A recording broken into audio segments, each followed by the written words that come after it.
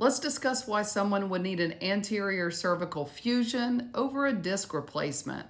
I see a lot of patients for second opinions for degenerative disc disease in their spine. Let's go through the differences between the two and why one may be preferred over another. Yesterday, I presented the case of a 52 year old man who comes to my office complaining of neck pain, headaches, and a popping sensation in his neck for many years. This is a CT scan of a cervical spine, and what we see on this CT is degenerative disc disease or bone on bone pathology at C6 and C7 and C5 and C6 where you can see that the disc material is no longer there if you compare it to the height of the disc at these other levels like up here. What's also really important to notice in this case is this patient complained of trouble with balance fine motor tasks such as buttoning his shirt or opening jars, and falls, and his MRI showed spinal cord compression. Let's talk about what that is. When we look at an MRI of the cervical spine in this view, we're actually looking at a patient from the side of their neck like this.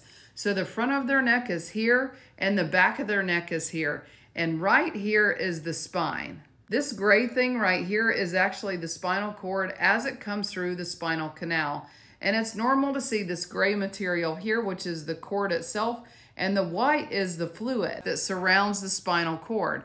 And we see right here and right here, the spinal cord is very compressed. Spinal cord compression could lead to signs of cervical myelopathy, which our patient had, which included trouble with his balance, difficulty walking with falls, and trouble with fine motor tasks.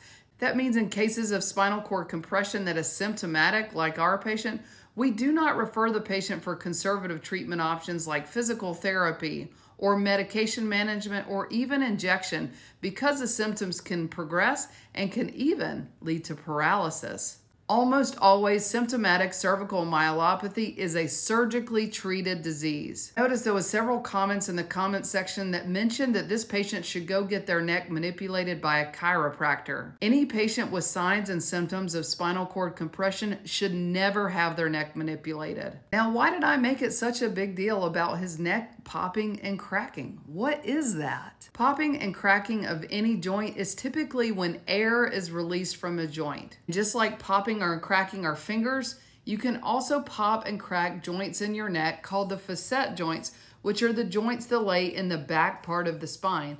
And at each level of our cervical spine, there are two facets. That means in our cervical spine or in our neck, there are 12 different joints that can pop. Popping your neck isn't something that you should really be concerned about because it can be somewhat normal. I don't know about you guys, but I'm in my 40s and when I climb upstairs, sometimes I get popping in my knees. Here's a cartoon depiction of what I am talking about in the neck and here you see two bones in the cervical spine with the interlying disc space and the joint is called the facet joint, which is located on the back part of our neck. So things that could cause pain in our neck are degenerative disc disease where our discs wear out, as well as facet joint arthritis or arthritis in the back part of our joints. If We look at our facet joints on a cross-section CT examination of our neck. This is what they should look like. And I tell patients that they kind of look like little hamburgers. If you start to develop arthritis in your facets, it can look on CT scan, like here showing a bone spur coming out of the facet,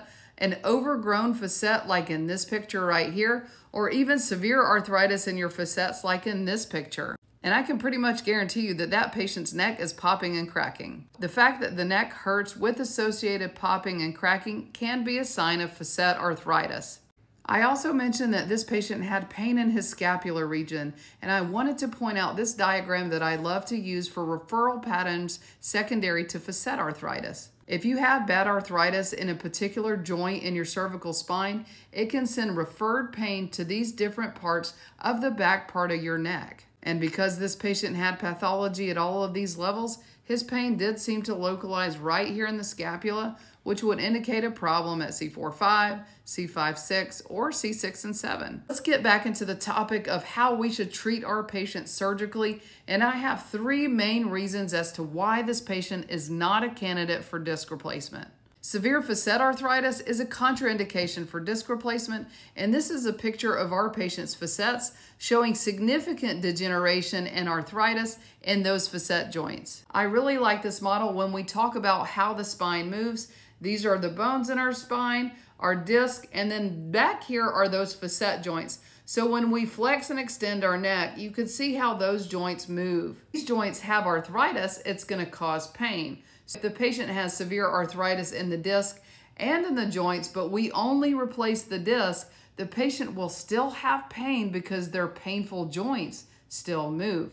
And that's why our patient isn't a candidate for disc replacement. Contraindication number one for disc replacement is facet arthritis. Reason number two is his MRI findings. I mentioned in the physical examination during the presentation that he has hyperreflexia, positive Babinski, and Hoffman signs. Those are all clinical examination findings that we perform on a patient that will tell us that their spinal cord is compressed. Some people are really proud when they have good reflexes, but I can tell you that sometimes good reflexes are a bad thing. Hoffman sign is another sign that we use to check for cervical myelopathy, and it's where we can take the patient's hand, flick the tip of their finger, and if their whole hand claws in like that, that is a sign of spinal cord compression. On this patient's MRI, what we see is that there is severe cord compression at C5-6 and C4 and C5, and I also showed that on the patient's axial images. With the amount of bone that we would have to remove in this patient to get adequate spinal cord decompression, this would also lead him to not be a candidate for disc replacement. And the last reason is that this patient needs three levels treated, in my opinion. The first level is C6 and C7 because there is barely any disc material left.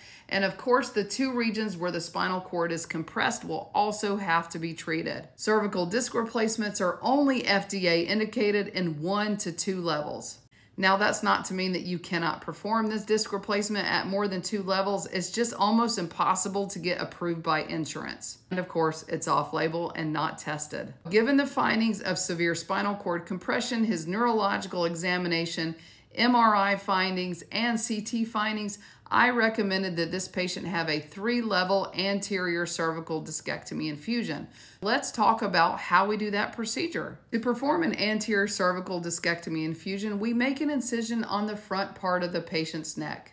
We then carefully reflect the vital structures to the side, including the carotid artery and the esophagus. This allows us to access the patient's spine where we can safely remove the disc and remove any bone spurs that are compressing the nerves or the spinal cord. That disc is then replaced with a cage and a plate and screws is applied. In my hands, this patient underwent a C4 to C7 anterior cervical discectomy and fusion. Here are his postoperative x-rays, and he did excellent after the surgery. The two-hour operation, he spent one night in the hospital and went home the following day. Over the next three to six months, all of his symptoms improved, including his neck pain, headaches, and most importantly, his weakness and trouble with his walking. Another case of patient focused and compassionate care. Stay tuned next week and I'll go through another case.